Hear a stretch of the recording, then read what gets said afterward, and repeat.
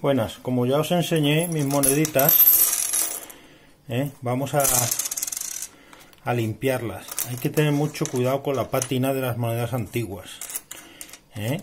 No queremos que se le quite la pátina. La podemos limpiar con agua y jabón de manos.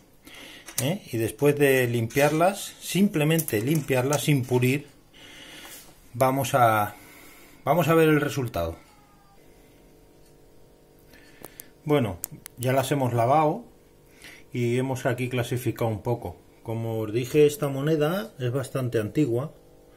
No la he querido limpiar más. Luego miraremos en los catálogos a ver, a ver qué valor tiene. Y nada, pues mira, unos moneditas de 5 pesetas. Pesetas. La famosa lentejilla y una moneda de 25 pesetas de, del rey Juan Carlos. Luego tenemos aquí una italiana y una suiza del, del 78. Y luego tenemos pues los eurillos, 10 céntimos, 5, 2, 1. Y esta, aunque no es una moneda, la cogí porque muchas veces se, se hacían colgantes con monedas. Pero no, no es una, no es una moneda. Venga, hasta luego.